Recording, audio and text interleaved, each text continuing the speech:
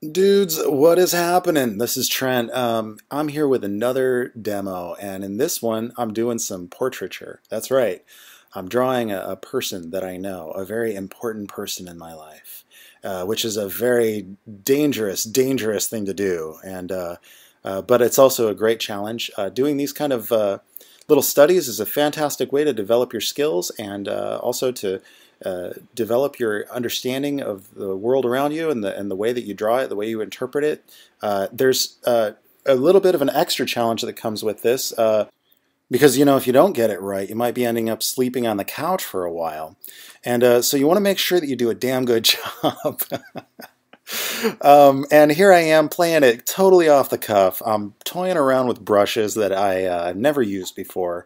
I think I found these on a forum. Uh, it was a little bit of a watercolor brush. Um, I'm getting really kind of messy, and the most important thing when you're just kind of sketching a, a, a person's face is uh, uh, really just kind of getting the distance between uh, features uh, somewhat accurate.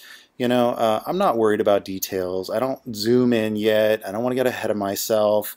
I want to kind of just capture the the essence of that person's identity and try not to. Basically, I'm trying to ignore my subconscious mind that is um, that is you know recognizing this person for all of the other information that I have about her personality, and I'm trying to just really kind of as a study really analyze like oh wow like why do her lips do this kind of a thing here, and then like oh I see like you know because she's kind of leaning on her hand, you know, her, her cheek is a little bit more emphasized, or or how is the light hitting this certain edge that kind of makes it feel rounded and turning.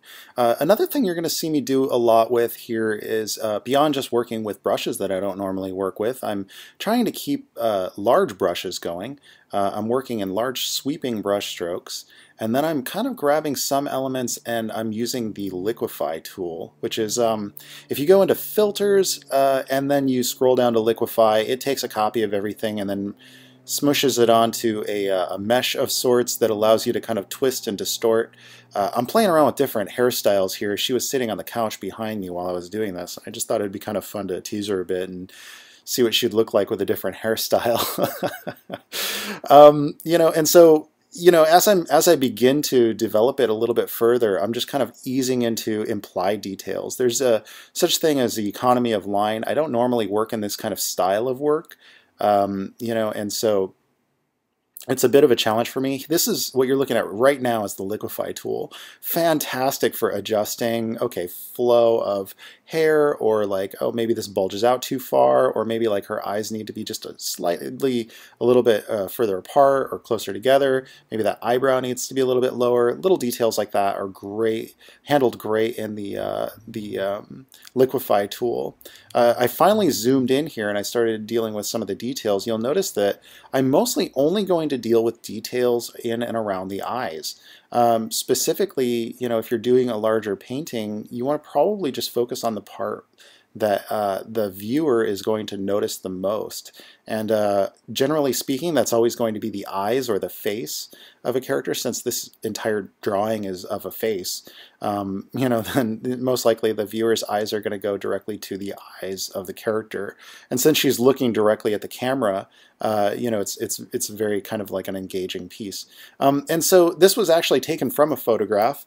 Uh, and uh, I am uh, doing this as a study. This was not drawn, uh, you know, in, in real time from a live model. Um, and you know, this is kind of just a handy little uh, technique if you really want to develop your skill set with uh, with painting, uh, digital painting. This is a great way to do it. Uh, some people would say, "Hey, why not just take a, a, damn photograph?" And I can't argue with that. But what I can argue with in in that regard is that you know, if you want to improve your illustration skills, these are great studies. Draw from photographs, draw from life better if they're in color, um, but uh, I don't consider myself that skilled, as skilled enough to be handling that just yet. I wanted to do something that I knew I could handle confidently and comfortably. You'll notice that I did add some color stuff in later. Uh, I'm using a Photoshop blender here. Um, and uh, still doing a little bit with the liquify tool. You can change the brush size with that, by the way. And I know this uh, this video is suddenly turning into almost an endorsement for liquify. Uh, but uh, you know, uh, I'm also keeping some some graininess in the in the brushes here, and you know, darkening in some areas, lightening some areas out. As I said, this is not a style that I usually work in. I tend to work mostly in line art, um, but I've always loved line art. And and as far as uh, painting goes, I don't know that I ever really want to just be like a, a, a photorealistic painter. That's not really my my my style. I'm toying around with some different brushes. I think that was a Sparth brush and I'm keeping it really grainy and kind of noisy and uh, that's just my style, my preference. I, I really like a paper grain. I really like a, a feeling of uh, like an oil paint or a uh, chalk kind of a drawing. Um, I don't know. It's just a personal preference. Uh, I don't tend to want to replicate perfect photorealism, although you know I, I do want to advance my knowledge and understanding of how some of those things work. Um, I wouldn't say that's my strength. You know, I rely pretty heavily on uh, cheap tricks, and uh, I'm going to encourage that in others. So uh, because it's gotten me this far, and uh, I'm I'm not unhappy with with the results I've gotten that way. Fake it till you make it. That's what I always say. Um, anyway, so here I switched over to Painter. There's some really fantastic blending brushes. I uh, was trying some different techniques. I had just come back from the Massive Black workshop in Los Angeles where I did a little demonstration, but I also had a chance to uh, watch some other uh, very talented artists at work and pick up some illustration techniques. Uh, uh, so I even dug into some uh, some chalk brushes here. And chalk brushes and paper textures work very differently in Corel Painter than they do in Photoshop. Um, and actually, I don't know that, well, there's a there are some similar uh, or ways that you can kind of capture some similar uh, effects.